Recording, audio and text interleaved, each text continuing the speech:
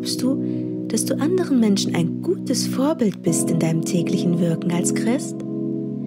Dann nimm dir bitte einmal eine ruhige Minute und sei einfach mal so richtig stolz auf dich. Denn es ist beileibe oft nicht einfach, dem gar so guten Willen auch Taten folgen zu lassen. Ich denke, die meisten Menschen haben intuitiv ein Gefühl dafür, was gut und richtig ist.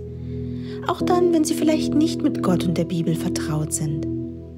Doch auch so zu handeln, wie es richtig wäre, erfordert oft Mut, Disziplin und die Bereitschaft, möglicherweise daraus resultierende Konsequenzen zu tragen. Beispielsweise sich von ungesunden Verhaltensmustern zu distanzieren. Worte allein sind bereits mächtig. Und Taten sagen manchmal mehr als tausend Worte.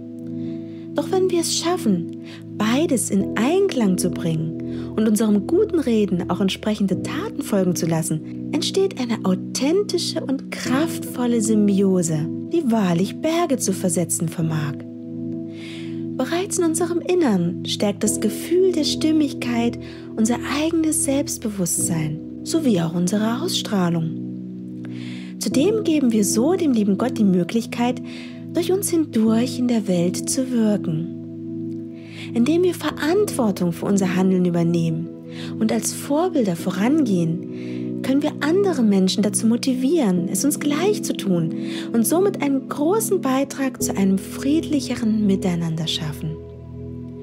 Viele Menschen unterschätzen ihre innewohnende Kraft. Gott hat jedem von uns die Möglichkeit gegeben, einen signifikanten Unterschied in dieser Welt zu machen. Schon ein kleiner guter Gedanke oder eine Geste der Hilfsbereitschaft kann auf das Leben von anderen Menschen einen großen Einfluss haben und eine Kette unvorhergesehener Ereignisse auslösen. Lasst uns daran bitte immer denken und beherzt das Wort Gottes im Umgang mit unserem Nächsten sichtbar werden lassen.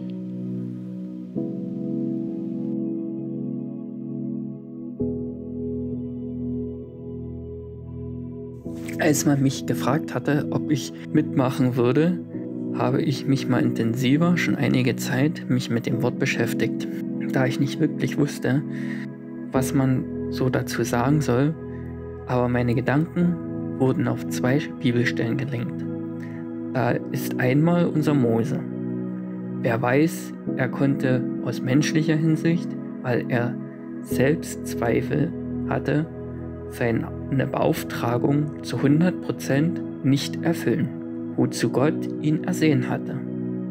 Dadurch konnte er nicht mit einziehen, sondern Josua führte sie wo Milch und Honig fließt, in die wunderschöne Stadt. Er durfte nur einen Blick vom Weiten genießen von der wunderbaren Stadt. Doch durfte er mit Jesu und Elia auf dem Berg erscheinen vor den Jüngern Jesu. Die zweite Stelle ist in der Apostelgeschichte 5, wo zwei Menschen hingingen, ihr gutes Land für Gott zu verkaufen. Das hört sich ja eigentlich super an, ne? Doch liest man weiter, hört man, so kommt es, dass man Gott betrügen wollte. Was beide im Nachhinein leider, auch da sie vorsätzlich gelogen hatten und es abgesprochen hatten, ihr Leben geben mussten. So lasst uns stets im Werke Gottes helfen, was wir können, und dürfen, aber nicht damit man sieht, was wir tun, sondern weil es uns ein Bedürfnis ist und immer mit ganz offenen und ehrlichen Herzen Gott und unserem Nächsten dienen.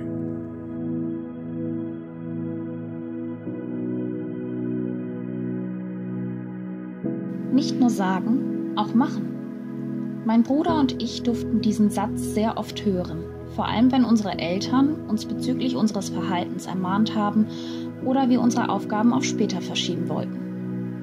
Meistens haben wir nämlich nur das gesagt, was unsere Eltern hören wollten. Ja, okay, mache ich.